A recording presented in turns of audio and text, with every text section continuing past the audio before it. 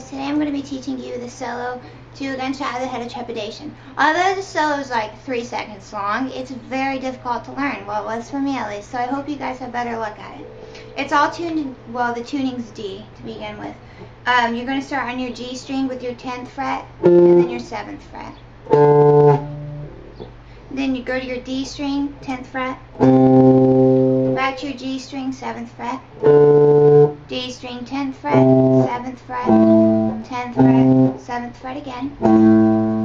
To your A string, hit your 10th fret, back to your D string, 7th fret, A string, 10th fret, 8th fret, 10th fret, 8th fret, then your E string, 10th fret, back to your A string, 8th fret, 10th fret, 8th fret, and then you're, you're going to go to your D string and hold your 10th fret just for a little bit. Then go to your 7th fret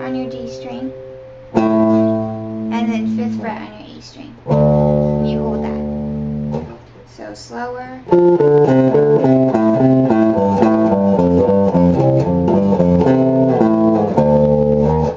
Um, what I would recommend with this is obviously alternate picking it because it's so fast you're going to have to do something unless you can really find a way to sweep, but you really can't.